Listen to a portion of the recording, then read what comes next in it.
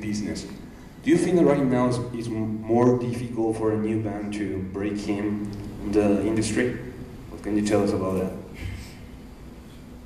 There's definitely difficulties on our end um, with being a band that, you know, it's like we're already signed to a label and, and locked into some, some things that are kind of ancient and not functional anymore. Um, I think that for new bands, it's it's hard to say because there's a lot of possibilities that there weren't before to connect immediately and directly with the people all over the world. You can just write a song, start up a MySpace page or whatever, and put it up there. I mean, that didn't used to be the way it was. It used to be that you had to find a middleman, you know, a record label or whatever. Um, and I think it's a beautiful thing that now we have the power of voice. You know, anybody can just go for it from anywhere with no money and, and you know.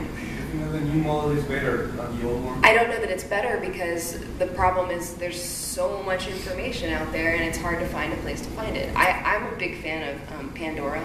Actually, I think it's really cool. I know that's not brand new artists that haven't gotten through to there, but I think things like that, tools like that, are really awesome because you can discover music on your own that is the type of music that you like to listen to. If you type in a certain thing, you're going to get new music back that you haven't heard before. I think that's a genius idea. I've actually discovered a lot of new music that way myself. So I think there are a lot of cool options out there for new bands that there didn't used to be before, but the industry is definitely sick. It needs some fixing. Um, we're in a in a transitional period. I, I hope it's a growing pain. Um, it's just kind of not figured itself out yet. Thank you. Eh, bueno, la pregunta fue si es que, por ejemplo, eh, ahora es más difícil para las bandas entrar a lo que sería la industria de la música en sí, en, en gran magnitud, de lo que era antes. Y lo que ella dice, o sea, lo que ella menciona es eh, lo del tema de la tecnología, que ahora, por ejemplo, las bandas ya no necesitan, por ejemplo, llegar a un intermediario, llegar, por ejemplo, a un representante o a una compañía discográfica para hacer que su música se escuche es cuestión de grabar el tema y subirlo, por ejemplo, a alguna página de internet que sea que esté preparado, que esté hecha para publicar los temas que cualquier banda o cualquier artista eh. Ahora, eh, lo que sí ella dice es que la industria musical en general, por ejemplo, sí eh, está como enferma, por decirlo de alguna manera, y necesita ser curada, si se puede decir, y que justamente ahora la accesibilidad que se tiene por medio de la tecnología justamente el escuchar música de las bandas, por ejemplo, que no están representadas por ningún sello discográfico, eh, lo toma ella como, como, referencia y como ventaja para, para que cualquiera pueda surgir y, eh, e ir adelante. Bueno, muy bien. Eh, vamos a ir finalizando de esta manera ya nuestra conferencia de prensa, si podemos... Bueno, a ver, Carlos, adelante. En la última, ya pasa. Eh, si nos puedes explicar sobre el diseño del vestido con las banderas y en qué parte tenés la bandera paraguaya. Can you explain the dress with the flag? Yeah. And uh, um, how, how do you how do you wear it? I mean, uh, how does well, it look like?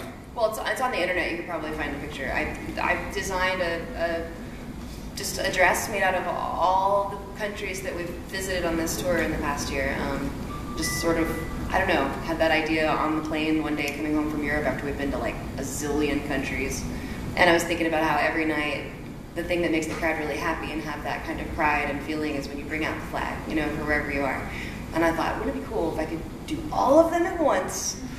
Um, I just wanted to pay homage to um, all the love that we've gotten from around the world. Um, it's been an incredible blessing, and it's made for um, a great year.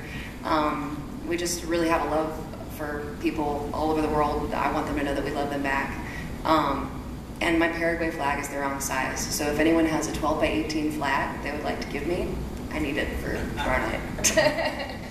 eh, de hecho que la, la idea del vestido, eh, como fue confeccionado, como es confeccionado, por ejemplo, lo pueden mirar en cualquier foto que haya en internet porque hay bastantes.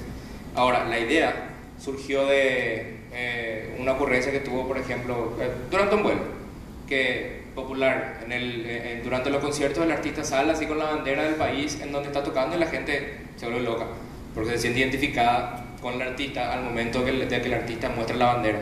Entonces, la idea fue, eh, ¿por qué no, por ejemplo, juntar todas las banderas de todos los lugares donde estuvimos en un vestido como para que eso de alguna manera rinda homenaje a todo el amor que recibió de todos los fans y de todo el público alrededor de los ya incontables países que visitaron. Muy bien, eh, de esta manera finalizamos. Pedimos un mensaje final para toda la gente, para todo el público que va a estar copando mañana el Jockey Club. Hay una gran expectativa por parte de, del público paraguayo por esta primera presentación de Evanescence en Paraguay. Uh, expectations for tomorrow's concert are, high. People are just counting minutes to see you guys. So if you have a, final message to, for the public that love you so much, We're just so happy to be here. We're so grateful. Um, we love you guys. It's a real honor to come and, and play for you and to visit your country for the first time. Uh, we've been looking forward to it for a long time. I guess more than anything, just we love you. Gracias, muchas gracias. We'll see you tomorrow night. Eh, básicamente eh, que están agradecidos y felices de estar por acá y que nada, que los fans son todo para ellos, que quieren demostrar el amor a los fans y eso va a pasar mañana a la noche. Muy bien, muchísimas gracias chicos, muchísimas Gracias. gracias a todos los periodistas por haber venido. Un aplauso para Evanescence. Una foto, una, un tiempito final para los fotógrafos.